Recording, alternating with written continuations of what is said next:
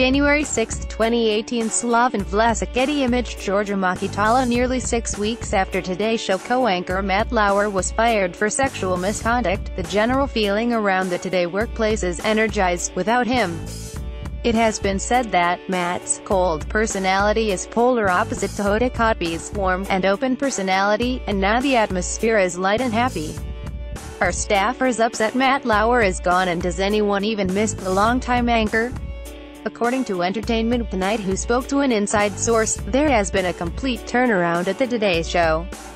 The addition of Hoda Kotb to the mix has been transformational to the atmosphere around the NBC show. It was reported that Hoda was already pals with Savannah Guthrie outside of the workplace, so their cozy familiarity that brings such harmony and chemistry on screen also encompasses the entire work environment. When Matt Lauer was at Today, he was intimidating. His demeanor demanded and got respect from all staff. Thus, he was always treated with respect but was not approachable. On the other hand, the source claims that Hoda is exactly who she is off television. She's the real deal. She is approachable and will speak to all levels of staff, so naturally, they are all happy that someone who is a good person got the promotion. Everyone is quite pleased. People at the show and the network are genuinely happy for Hoda. In contrast, Fox News had recently reported that Matt Lauer's absolute power, that was given to him by NBC Universal Chief Executive Steve Burke helped set up an environment where the Today staff were so intimidated that they would never have dared report Lauer for any inappropriate behavior, such as that that ultimately got him fired. Today Show staffers are definitely embracing Hoda Kotb as replacement of Matt Lauer as co-anchor, a source says https t.covivolchippic.twitter.com K7UITER, Entertainment Night at FNOW January 5, 2018 Their insider explained that when Andy Lack became the NBC News chairman, it gave Lauer even more power over staff. Lauer and Lack were already established in a sort of old boys club work relationship that went beyond the office walls at 30 Rock. They went on personal vacations together, as well as spent time outside of the office. Although Lauer is gone from today, does he still have some power on what is going on over there? There have been recent reports that he is sending suggestions to the producers of Today, such as his opinion on the music used in a news segment.